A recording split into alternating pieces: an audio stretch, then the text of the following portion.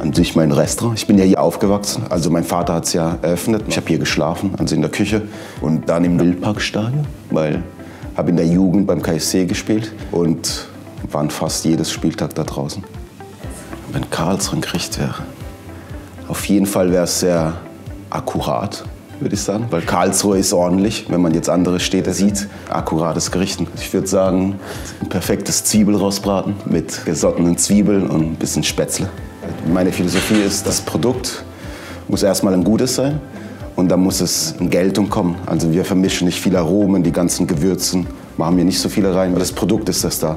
Ja, da gibt es ein Beispiel, Carbonara haben wir auf der Karte, ohne Sahne, also so wie es in Italien gemacht wird. Und manche Gäste haben es ja verlangt mit Sahne. Bin dann rausgegangen, aber ganz höflich, habe es erklärt, dass, wir, dass er, wenn er Lust hat, das probiert ohne Sahne. Wenn es ihm nicht schmeckt, dann geht es aufs Haus. Im Endeffekt hat bis jetzt jeder bezahlt, also den Team Melzer. Ich würde gern bei Kitchen Impossible mitmachen. Schaue ich gerne. Team Wein. Äh, ich habe, glaube ich, vor vier, fünf Jahren angefangen, Wein richtig kennenzulernen. Wir haben mittlerweile 170 Positionen hier. Lieblingswein, wenn ich auswählen könnte, Barbaresco. Nein, nein. Also wir hatten auch Pizza hier früher auf der Karte noch, bis Anfang Januar. Aber wir hatten nie Pizza Hawaii, heißt die.